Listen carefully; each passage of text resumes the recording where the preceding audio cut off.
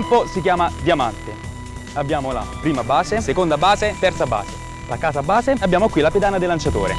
Il baseball funziona così, più o meno, diciamo presso a poco, almeno per quello che ho capito io. Comunque la cosa importante è che il baseball è lo sport della sfida di questa settimana. La squadra del Verona si fronteggerà con la squadra del Torino fino all'ultimo lancio.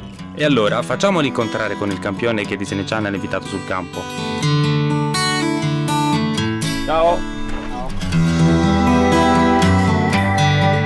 Sono venuto a vedere oggi a giocare. Eh. Quando è che hai iniziato tu a giocare? Ho cominciato a giocare veramente molto, ero molto giovane, avevo 5 anni, 5 anni Ah, e piccolissimo.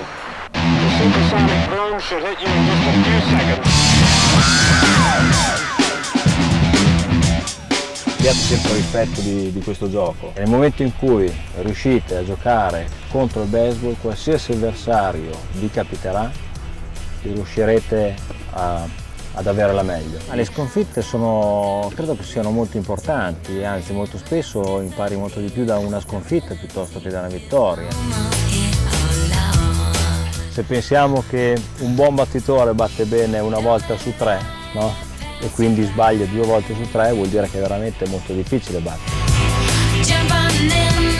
Spiegami perché vai sempre a prendere la palla nel girare il doppio gioco con una mano anziché andare con due. Quando fai il passo, eh, invece di fare il passo verso il lanciatore, ti apre. Il seconda base deve fermare la palla, non la deve prendere.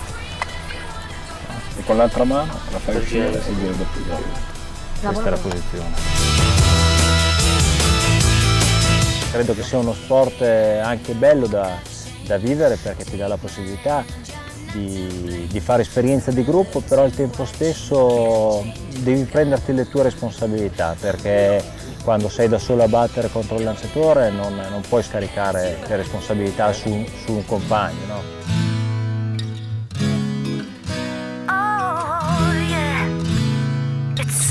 Per me il rapporto con l'allenatore deve essere, e lo è sempre stato, solamente uno, di massimo rispetto.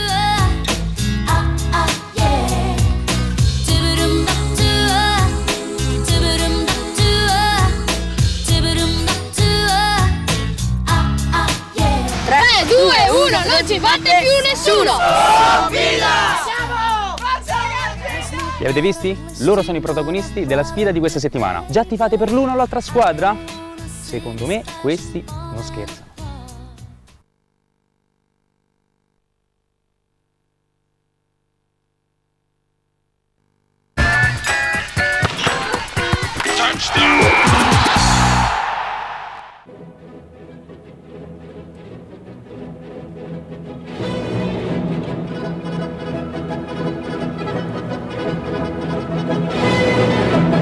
Give me a beat. Massimo, la sfida vedo che sta per iniziare. È ora. Ormai ci siamo. Gli arbitri fanno l'appello, chiamano ogni giocatore per cognome, loro si presentano all'arbitro Ah. dicendo il loro nome e il numero di casacca. Eh,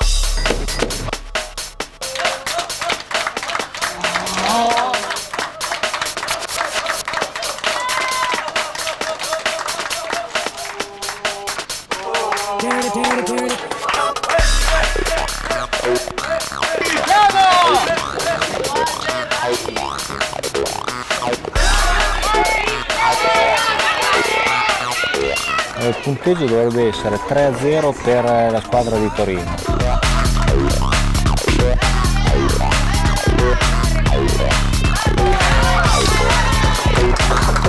Questo quindi sarebbe un altro punto adesso. Questo è un altro punto, perché adesso il Torino diciamo che ha preso coraggio da un attimo di titubanza che aveva all'inizio.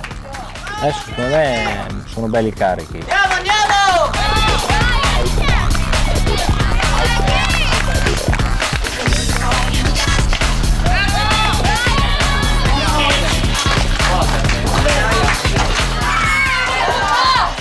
Ragazzi, qua veloci! Non è finita la partita, ragazzi. Quello che dovrà fare il Verona è quello di riuscire a non far respirare tanto il Torino, quindi aggredirli immediatamente, a fargli capire che ci sono anche loro in campo.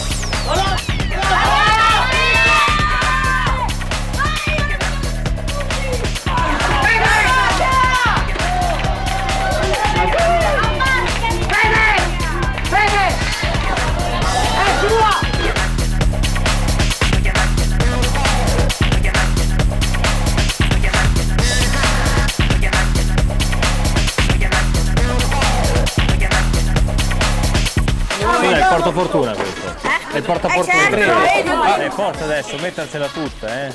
Ce la potete ancora fare, dai.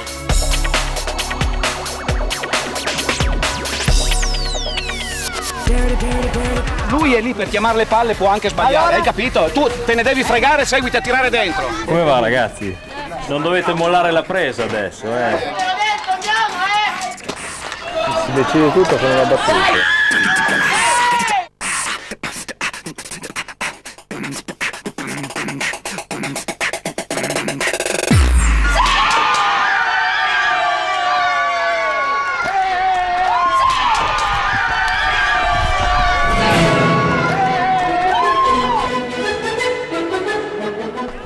Male. Però per poco, eh.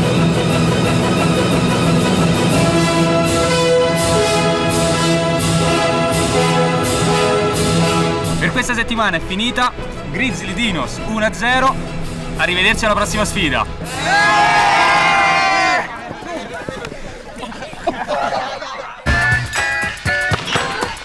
Touchdown!